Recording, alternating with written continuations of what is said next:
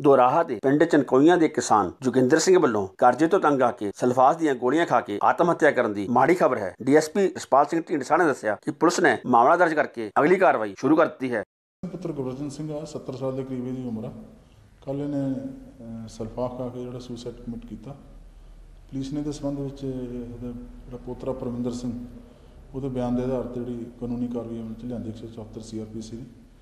ਉਹਨੇ ਇਹ ਲਿਖਾਇਆ ਵੀ ਇਹਦੇ ਸਿਰ ਜਿਹੜਾ ਹੈਗਾ ਦੋ ਬੈਂਕਾਂ ਦਾ ਕਰੀਬ 8 ਲੱਖ ਰੁਪਏ ਕਰਜ਼ਾ ਸੀ ਉਹਦੀ ਇਹ ਦਿਮਾਗੀ ਪਰੇਸ਼ਾਨੀ ਰੱਖਦਾ ਸੀ according to statement of Parminder Singh. ਦੂਜੇ ਪਾਸੇ ਆਮ ਆਦਮੀ ਪਾਰਟੀ ਦੇ ਵਿਧਾਇਕ ਸੁਖਪਾਲ ਸਿੰਘ ਖਹਿਰਾ ਨੇ ਪੀੜਤ ਪਰਿਵਾਰ ਨਾਲ ਹਮਦਰਦੀ ਪ੍ਰਗਟਾਈ ਹੈ ਅਤੇ ਕਾਂਗਰਸ ਪਾਰਟੀ ਦੀ ਜੰਮ ਕੇ ਨਿਖੇਧੀ ਕੀਤੀ ਹੈ। ਨਹੀਂ ਮੇਰਾ ਖਿਆਲ ਹੈ ਕਿ ਕਿਸਾਨ ਜਿਹੜੇ ਕਰਜ਼ਾ ਮਾਫੀ ਸਕੀਮ ਸੀ ਅਮਰਿੰਦਰ ਸਿੰਘ ਦੀ ਉਹ ਬਿਲਕੁਲ ਫੇਲ ਹੋ ਚੁੱਕੀ ਹੈ ਔਰ ਜ਼ਮੀਨ ਤੇ ਇਹਦੇ ਫੇਲਿਅਰ ਦੇ ਨਤੀਜੇ ਕਿਸਾਨਾਂ ਦੀ ਖੁਦਕੁਸ਼ੀਆਂ ਨਿਰੰਤਰ ਜਾਰੀ ਰਹਿਣ ਦੇ ਕਰਕੇ ਸਾਨੂੰ ਦਿਸ ਰਹੀਆਂ ਨੇ। ਅੱਜ ਮੈਂ ਚਨਕੋਈਆਂ ਪਿੰਡ ਚ ਲੁਧਿਆਣਾ ਦੁਰਾਹੇ ਦੇ ਲਾਗੇ।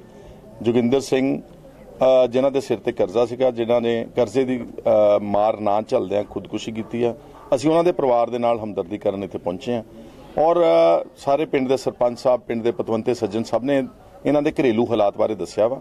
ਇਸ ਲਈ ਮੈਂ ਸਮਝਦਾ ਵਾਂ ਕਿ ਜਿਹੜੀ ਗਵਰਨਮੈਂਟ ਹੈ ਆ ਮੌਜੂਦਾ ਗਵਰਨਮੈਂਟ ਇਹਦੇ ਇੱਕ ਸਾਲ ਦੇ ਦੌਰਾਨ ਤਕਰੀਬਨ 365 ਕਿਸਾਨਾਂ ਤੋਂ ਉੱਤੇ ਆਤਮ ਹੱਤਿਆ ਕੀਤੀ ਸਾਡਾ ਵਿਧਾਨ ਸਭਾ ਦਾ ਆਫਿਸ ਰੋਜ਼ ਰਿਕਾਰਡ ਮੇਨਟੇਨ ਕਰ ਰਿਹਾ ਵਾ।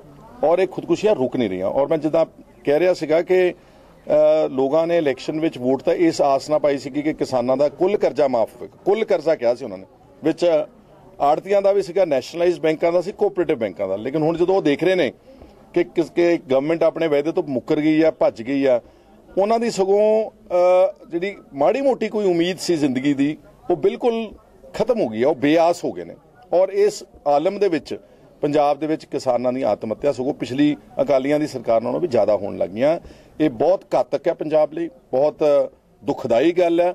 ਔਰ ਗਵਰਨਮੈਂਟ ਨੂੰ ਇਹਦੇ ਵਾਸਤੇ ਕੁਝ ਤੁਰੰਤ ਸੋਚਣਾ ਪਵੇਗਾ, ਵਰਨਾ ਪੰਜਾਬ ਦੇ ਵਿੱਚ ਜਿਸ ਤਰ੍ਹਾਂ ਦਾ ਵਾਤਾਵਰਣ ਬ- ਬਣ ਰਿਹਾ ਵਾ, ਇਹ ਇੱਕ ਬਹੁਤ ਵੱਡੀ ਨਮੋਸ਼ੀ ਵੱਲ ਨੂੰ ਸਾਡਾ ਪੰਜਾਬ ਜਿਹੜਾ ਜਾ ਰਿਹਾ ਵਾ। ਅਸੀਂ ਇਹ ਸਾਰੇ ਮੁੱਦੇ ਜਿਹੜੇ ਕਾ- ਕਿਸਾਨਾਂ ਦੀ ਆਤਮ ਹੱਤਿਆਵਾਂ ਦੇ, ਕਰਜ਼ੇ ਨੂੰ ਲੈ ਕੇ ਖੇਤ ਮਜ਼ਦੂਰਾਂ ਦੇ, ਗਰੀਬਾਂ ਦੇ, ਇਹ ਸਾਰੇ ਆਗਾਮੀ ਬਜਟ ਇਜਲਾਸ ਵਿੱਚ ਪੰਜਾਬ ਦੀ ਵਿਧਾਨ ਸਭਾ ਵਿੱਚ ਚੁੱਕਾਂਗੇ ਤਾਂ ਕਿ ਇਹਨਾਂ ਨੂੰ ਵੱਧ ਤੋਂ ਵੱਧ ਰਹਿਤ ਮਿਲ ਸਕੇ। ਇਹਨਾਂ ਨੂੰ ਕਿਸੇ ਤਰ੍ਹਾਂ ਦਾ ਕੋਈ ਹੱਲ ਕੱਢਿਆ ਜਾ ਸਕੇ। ਬਹੁਤ ਅਰਸੇ ਤੋਂ ਅਮਰਿੰਦਰ ਸਿੰਘ ਜੀ ਇਹੀ ਕਹੀ ਜਾਂਦੇ ਡਾਈਵਰਸਿਫਿਕੇਸ਼ਨ ਕਰਾਂਗੇ।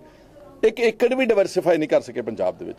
ਔਰ ਹੁਣ ਨੀਤੀ ਆਯੋਗ ਨੇ ਭਾਰਤੀ ਜਨਤਾ ਪਾਰਟੀ ਦਾ ਜਿਹੜੇ ਪਲੈਨਿੰਗ ਕਮਿਸ਼ਨ ਆ, ਉਹ ਇੱਥੇ ਆਣ ਕੇ ਕਹਿ ਗਏ ਨੇ ਕਿ ਕਣਕ ਝੋਨੇ ਦੀ ਸਾਨੂੰ ਲੋੜ ਨਹੀਂਗੀ ਹੁਣ।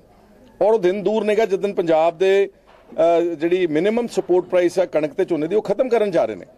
ਔਰ ਆਪਾਂ ਨੂੰ ਪੰਜਾਬ ਦੇ ਲੋਕਾਂ ਨੂੰ ਕੁਝ ਹੋਰ ਫਸਲਾਂ, ਉਹਦੀ, ਪਰ ਉਹਦੀ ਮਾਰਕੀਟ ਲੱਭਣੀ ਪੈਣੀ ਆ। ਉਹਦੇ ਐਮਐਸਪੀ ਸਰਕਾਰਾਂ ਸਟੇਟ ਦੀਆਂ ਦੇਣ, ਦੇਖੋ ਆਲੂ ਰੋਲ ਰਿਹਾ ਪੰਜਾਬ ਦੇ ਵਿੱਚ, ਅੱਜ ਦੁਆਬੇ ਸਾਡੇ ਵਿੱਚ ਸਾਰਾ ਆਲੂ। ਤੀਸਰਾ ਕਿ ਚੌਥਾ ਸਾਲ ਹੈ ਕੰਪਲੀਟ ਫੇਲਿਅਰ ਆ ਆਲੂ ਦੇ ਕ੍ਰੌਪ ਦੀ। ਲੇਕਿਨ ਗਵਰਨਮੈਂਟ ਕੋ ਕੋਈ ਉਹਦਾ ਹੱਲ ਹੀ ਹੈ ਨਹੀਂਗਾ, ਕੋਈ ਵੀ। ਇਹਦੇ ਪਿੱਛੇ ਇਹਦੇ ਪਿੱਛੇ ਤਾਕਤਵਰ ਪੋਲੀਟੀਕਲ ਮਾਫੀਆ ਇਨਵੋਲਵਡ ਹੈ ਇਹਦੇ ਪਿੱਛੇ ਕਾਂਗਰਸ ਦੇ ਅੱਜ ਅਖਬਾਰਾਂ ਨੇ ਲਿਖਿਆ ਮੈਂ ਨਹੀਂ ਕਹਿ ਰਿਹਾ ਕਿ 11 ਐਮਐਲਏਜ਼ ਔਰ ਇੱਕ ਸਿਟਿੰਗ ਕੈਬਨਿਟ ਮਿਨਿਸਟਰ ਦਾ ਨਾਮ ਆ ਰਿਹਾ। ਕੈਪਟਨ ਅਮਰਿੰਦਰ ਸਿੰਘ ਨੂੰ ਦੱਸਣਾ ਚਾਹੀਦਾ ਵਾ ਕਿ ਕੌਣ ਲੋਕ ਆ ਜਿਹੜੇ ਤੁਹਾਡੀ ਸ਼ਹਿਰ ਦੇ ਉੱਤੇ ਪੰਜਾਬ ਦੇ ਕੁਦਰਤੀ ਸਰੋਤਾਂ ਦੀ ਲੁੱਟ ਕਰ ਰਹੇ ਨੇ। 10000 ਕਰੋੜ ਰੁਪਏ ਤੋਂ ਜ਼ਿਆਦਾ ਦਾ ਸਾਡੇ ਦਰਿਆਵਾਂ ਚੋਂ ਰੇਤਾ ਬਜਰੀ ਦਾ ਅਵੈਧ ਜਿਹੜਾ ਵਪਾਰ ਚੱਲਿਆ ਵਾ ਇਹਦਾ ਘਾਟਾ ਪਿਆ ਪੰਜਾਬ ਸਰਕਾਰ ਨੂੰ। ਇਸ ਲਈ ਸਰਕਾਰਾਂ ਕਰਜ਼ਾਈ ਹੋਈਆਂ ਨੇ। ਔਰ ਅਸੀਂ ਇਹ ਮਾਈਨਿੰਗ ਦਾ ਇਸ਼ੂ ਵੀ ਵਿਧਾਨ ਸਭਾ ਦੇ ਵਿੱਚ, ਔਰ ਬਲਕਿ ਮੈਂ ਤਾਂ ਪਿੱਛੇ ਰਾਏ ਦਿੱਤੀ ਸਰਕਾਰ ਨੂੰ ਕਿ ਇੱਕ ਆਲ ਪਾਰਟੀ ਵਿਧਾਨ ਸਭਾ ਦੀ ਕਮੇਟੀ ਕਨਸਟੀਟਿਊਟ ਕਰੋ, ਜਿਹੜੀ ਇਨਪਾਵਰਡ ਹੋਵੇ to visit all the sites including legal mining sites and also the illegal mining sites ਲੇਕਿਨ ਅਫਸੋਸ ਹੈ ਕਿ ਚੀਫ ਮਿਨਿਸਟਰ ਸਾਹਿਬ ਬਹੁਤ ਕਟ ਆਫ ਨੇ ਪੰਜਾਬ ਦੇ ਲੋਕਾਂ ਦਾ, ਨਾ ਉਹ ਲੋਕਾਂ ਨੂੰ ਮਿਲਦੇ ਨੇ, ਨਾ ਕਿਸੇ ਐਮਐਲਏ ਨੂੰ ਮਿਲਦੇ ਨੇ, ਨਾ ਕਿਸੇ ਮੰਤਰੀ ਨੂੰ ਮਿਲਦੇ ਨੇ, ਤੇ ਉਹਨਾਂ ਨੂੰ ਅਸਲੀਅਤ ਮਿਲਦੀ ਨਹੀਂ ਸਿਰਫ ਅਸਮਾਨ 'ਚੋਂ ਬੈਠੇ ਇੱਕ ਹੈਲੀਕਾਪਟਰ 'ਚੋਂ ਥੱਲੇ ਫੋਟੋਆਂ ਖਿੱਚ ਕੇ ਆਪਣਾ ਰਾਜ ਚਲਾ ਰਹੇ ਨੇ ਪੰਜਾਬ। ਬਿਜਲੀ ਦਾ ਰੇਟ ਵਧਾ ਰਹੇ ਨੇ ਵਧਾ ਗਵਰਨਮੈਂਟ ਮੌਜੂਦਾ ਪਈ ਵਧਾ ਰਹੀ ਹੈ ਉਹਦੇ ਬਾਰੇ। ਰੇਟਸ ਤਾਂ ਵਧਾਏ ਜਿਹੜੇ ਵਧਾਏ ਵਧਾਏ ਸੀਗੇ ਇਹਨਾਂ ਨੇ ਜਿਹੜੇ ਉਹ ਲਾਗੂ ਕੀਤੇ ਨੇ 1 1 ਅਪ੍ਰੈਲ 2017 ਤੋਂ ਜਿਹੜਾ ਕਿ ਬਹੁਤ ਗਲਤ ਫੈਸਲਾ ਵਾ। ਅੱਗੇ ਹੀ ਪੰਜਾਬ ਦੇ ਲੋਕ ਖਾਸ ਤੌਰ ਤੇ ਪਿੰਡਾਂ ਦੇ ਗਰੀਬ ਆਦਮੀ ਜਾਂ ਖੇਤ ਮਜ਼ਦੂਰ ਕਿਸਾਨ ਉਹ ਤਾਂ ਅੱਗੇ ਮਹਿੰਗਾਈ ਵਿੱਚ ਪਿਸ ਰਹੇ ਨੇ।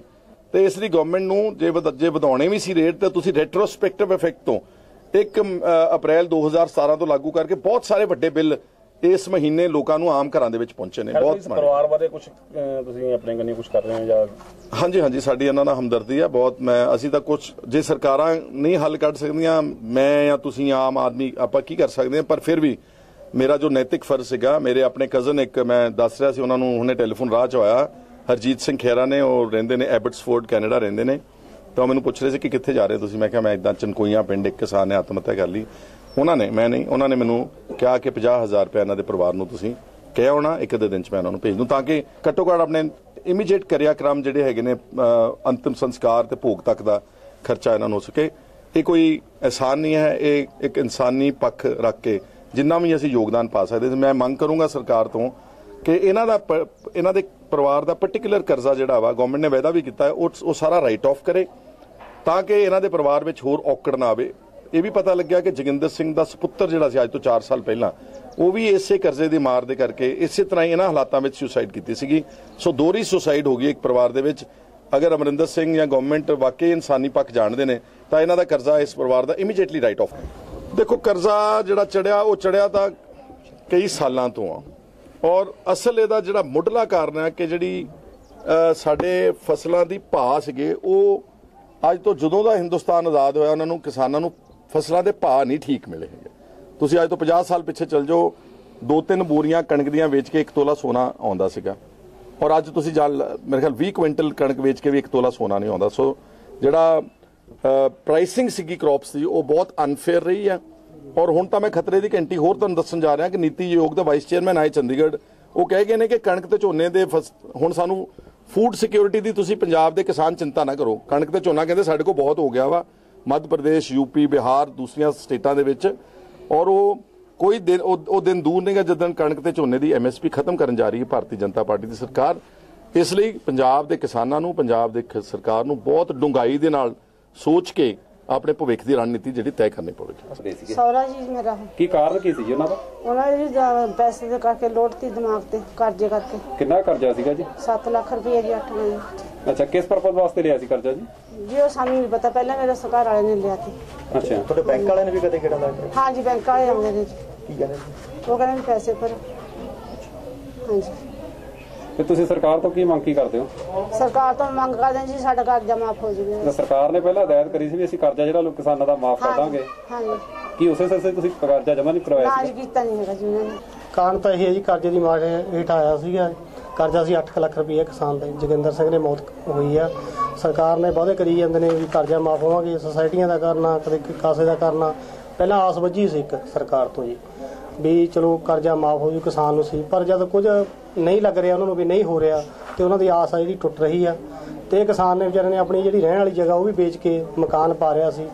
ਮਕਾਨ ਦਾ ਪ੍ਰੋਪਰ ਕੰਮ ਖੜ ਚੁੱਕਿਆ। ਕਿਤੋਂ ਪ- ਪੈਸਾ ਨਹੀਂ ਮਿਲ ਰਿਹਾ, ਕਰਜ਼ੇ ਕਾਰਨ ਜ਼ਮੀਨ ਨਹੀਂ ਵਿਕ ਰਹੀ ਸੀ। ਇਸ ਕਰਕੇ ਜੀ ਉਹਨੇ ਹਾਰ ਕੇ ਇਹ ਜਿਹੜੀਆਂ ਹੈਗੀਆਂ ਸਰਕਾਰ ਵੀ ਤੰਗ ਕਰਦੇ ਸੀ। ਹਾਂਜੀ ਬੈਂਕ ਵਾਲੇ ਗੇੜੇ ਮਾਰਦੇ ਨੇ। ਬੈਂਕ ਵਿਆਜ ਤੋਂ ਵਿਆਜ ਪੈ ਰਿਹਾ ਬੈਂਕ ਦਾ। ਤੇ ਕੋਈ ਵੀ ਕਿਸੇ ਕਿਸਮ ਦੀ ਕੋਈ ਮਾਫੀ ਨਹੀਂ ਆਈ। ਤੇ ਸਰਕਾਰ ਤੋਂ ਕੀ ਮੰਗ ਕਰਦੇ ਹੋ? ਅਸੀਂ ਤਾਂ ਇਹੀ ਕਹਿੰਦੇ ਵੀ ਜਿਹੜੇ- ਜੋ ਸਰਕਾਰ ਨੇ ਵਾਅਦੇ ਕੀਤੇ ਨੇ ਉਹਨਾਂ ਨੂੰ ਪੂਰੇ ਕੀਤਾ ਜਾਵੇ। ਨਹੀਂ ਇਦਾਂ ਕਿਸਾਨ ਦੇ ਲਈ ਬਹੁਤ ਹੀ ਮਾੜੇ ਦਿਨ ਨੇ। ਅੱਗੇ ਅੱਗੇ ਮਰ ਰਹੇ ਨੇ ਹਰੇ ਪੰਜਾਬ ਦੇ ਵਿੱਚ ਹੀ ਹੋ ਰਹੇ ਨੇ। ਪਹਿਲਾਂ ਲੁਧਿਆਣੇ ਜ਼ਿਲ੍ਹੇ 'ਚ ਨਹੀਂ ਸੀ ਪਰ ਅੱਜ ਸਾਡੇ ਜਿਹੜੇ ਪਿੰਡ ਦੇ ਵਿੱਚ ਵੀ ਇਹ ਮਾੜੀ ਜਿਹੜੀ ਘਟਨਾ ਵਾਪਰ ਚੁੱਕੀ ਹੈ।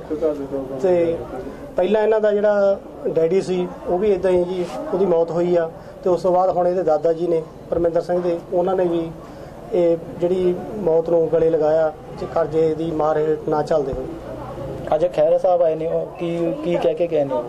ਖੈਰਾ ਸਾਹਿਬ ਨੇ ਸਾਨੂੰ 50000 ਰੁਪਏ ਦੇ ਪਰਿਵਾਰ ਨੂੰ ਮਾਲੀ ਮਦਦ ਦਿੱਤੀ ਅਸੀਂ ਬਹੁਤ ਧੰਨਵਾਦ ਕਰਦੇ ਹਾਂ। ਤੇ ਹੋਰ ਵੀ ਉਹਨਾਂ ਨੇ ਕਿਹਾ ਵੀ ਅਸੀਂ ਵਿਧਾਨ ਸਭਾ 'ਚ ਇਹ ਮੁੱਦਾ ਉਠਾਵਾਂਗੇ ਜੋ ਸਰਕਾਰ ਨੇ ਵਾਅਦੇ ਕੀਤੇ ਨੇ ਉਹਨਾਂ ਨੂੰ ਪੂਰੇ ਕਰਾਉਣ ਦੇ ਵਿੱਚ ਅਸੀਂ ਉਪਰਾਲਾ ਕਰਾਂਗੇ ਜੇ ਹੋ ਸਕੇ। ਦੇਸ਼ ਵਿਦੇਸ਼ ਟੀਵੀ ਲਈ ਖੰਨਾ ਤੋਂ ਪ੍ਰਭਜੋਤ ਸਿੰਘ ਪੱਟੀ ਦੀ ਵਿਸ਼ੇਸ਼ ਰਿਪੋਰਟ। ਨਵੀਆਂ ਅਤੇ ਤਾਜ਼ੀਆਂ ਖਬਰਾਂ ਦੇਖਣ ਲਈ ਸਾਡੇ YouTube ਚੈਨਲ ਦੇਸ਼ ਵਿਦੇਸ਼ ਟੀਵੀ ਨੂੰ ਲਾਈਕ, ਸ਼ੇਅਰ, ਸਬਸਕ੍ਰਾਈਬ ਕੀਤਾ ਜਾਵੇ।